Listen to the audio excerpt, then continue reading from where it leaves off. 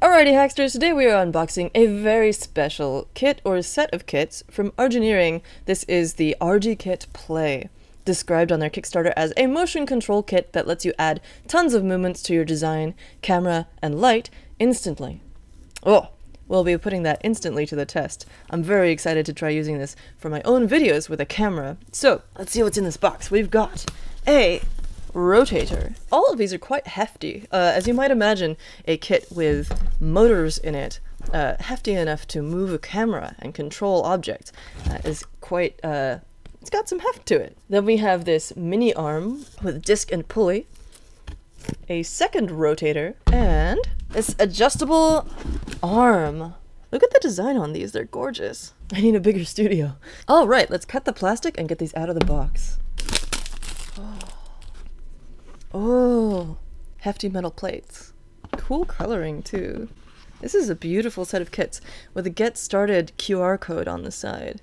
So it's pretty awesome that these are made with big metal pieces because what you really need when you're working with cameras is stability. And these are designed to work with your camera as well as lighting, so you can control your viewpoint, lighting, and subject all at the same time using their app. And on the website you can see things like the pulley being used, for example, to squeeze down on a bottle of ketchup. Plus there's a tiny little arm and all the screws and tools that you need to connect it to the rotator. I have an idea for a simple bar bot that I want to build with these, which I think would be really cool. Let's put together the rotator and see if we can't make something simple happen immediately.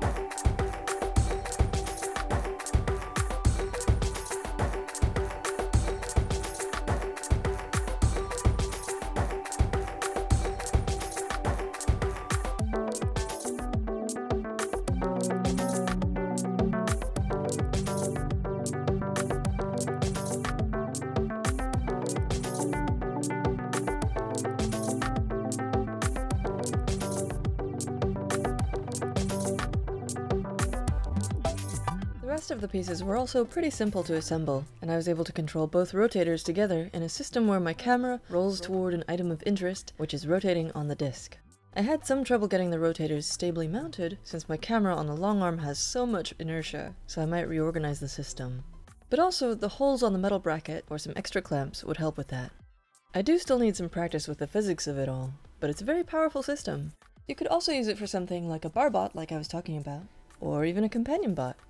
After Argineering's successful Kickstarter, these kits are available now at rgkitplay.com.